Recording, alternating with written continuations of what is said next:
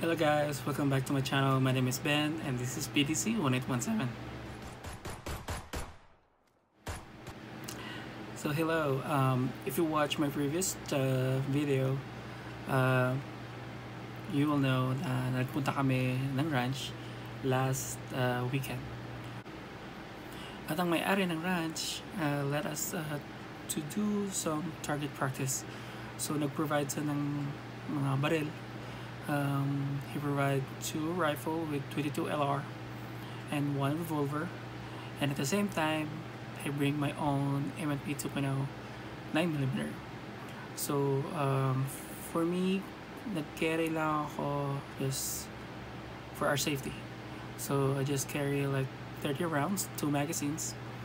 And and nung nag target practice kami and I told him like I don't have enough ammo and sabi niya uh, he has some 9 mil. Okay so nag nag nag nag-prepare kami ng mga target ng mga target namin inayos namin lahat. And nung nakita ko yung 9 mil niya it's a steel case. So uh, na, uh, I was worried if like if gagamitin ko if I'm gonna use the, the steel case ammo. Um, because as you will know uh, some says like steel case ammo we're gonna destroy your barrel gonna destroy your chamber. So so I'm just worried. So kinabahan ako. So nagdadalawang isip ako if gagamitin ko yung yung barrel ko to use the steel case ammo but at the same time uh, kina uh, kinausap uh, nagkwento yung kaibigan ko before na it's okay to use steel cases. Kasi as you all know uh, sa panahon ngayon uh, puro out of stock lahat ng ammo. So some store some I mean some gun store um, yung natitira na lang is steel cases puro out of stock lahat ng brass. so, sinabihan niya um, yung kaibigan ko, um, sinabi sa akin na na it's fine to use steel case ammo kung hindi naman pang araw-araw, yung hindi naman yan lang gagamitin mo.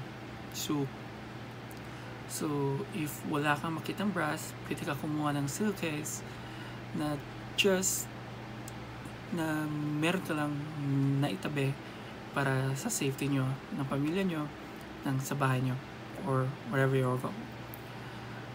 So, ganun. So, at first, kinabahan ako. So, after na-finish ko yung yung 30 round ko dala, so, so nag-reload ako ng steel cases. Uh, pumutok lahat. Everything went well. Uh, walang may nag-jam, walang may nag stock. Okay lahat yung chamber ko okay yung barrel ko. And nagload nagload ulit ako ng, ng panigam panibagong magazine ko. Uh, we used 50 rounds of steel cases. And so ganun. So so after nun walang nangyari sa barrel ko. Everything it's okay. Tapos nung yesterday nung nag-clean ako chinek ko yung barrel, chinek ko yung chamber, chinek ko lahat. Chinek ko yung sa trigger, chinek ko yung yung lahat. And everything is okay. Everything is still, uh, it's intact.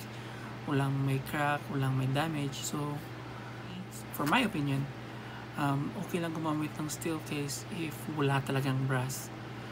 So, for the meantime, mas okay na yung meron kang naitabi just to be safe and at the same time meron kang gagamitin.